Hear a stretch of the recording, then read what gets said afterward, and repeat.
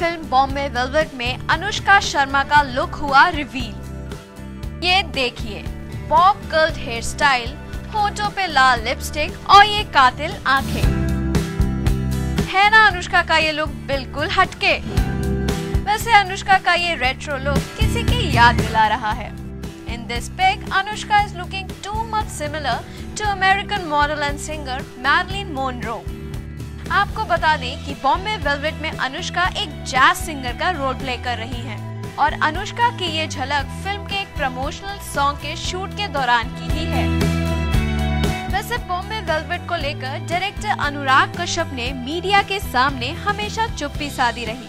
उन्होंने ना ही कभी फ़िल्म की स्टोरी लाइन को रिवील होने दिया, ना ही फ़िल्म में रणबीर और अनुष्का के लुक को। अगर अब देखा जाए कि जैसे अनुष्का का लुक सामने आया है वैसे ही हम उम्मीद रखते हैं कि अनुराग अब धीरे धीरे फ़िल्म के बाकी कैरेक्टर्स का लुक भी रिवील करेंगे।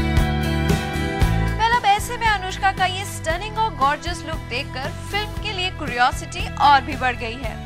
लेकिन जनाब फ़िल्म में रणबीर कपूर का लुक कैसा होगा, ये देखना और भी एक्साइटिंग होगा।